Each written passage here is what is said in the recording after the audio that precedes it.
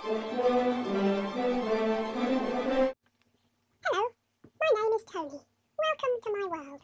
I enjoy a mostly peaceful life here at home, but we all have our difficulties to overcome.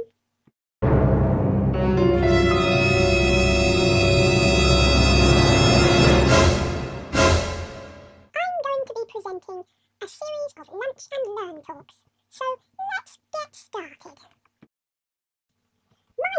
presentation will be how to make lunch, and today I'm going to prepare a sandwich.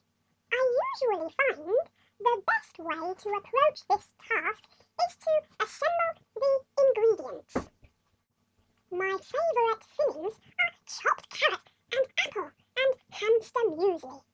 You can usually find carrot and apple in the fridge, and hamster muesli is available at most pet supply stores. I like to collect these ingredients in my pouches and save them for later.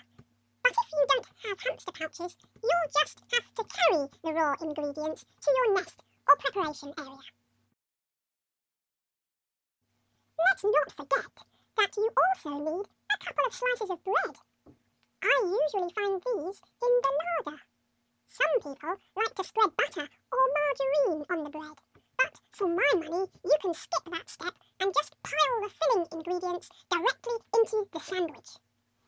All there is to do after that is slap another slice of bread on top, and you're ready to enjoy a delicious lunchtime sandwich.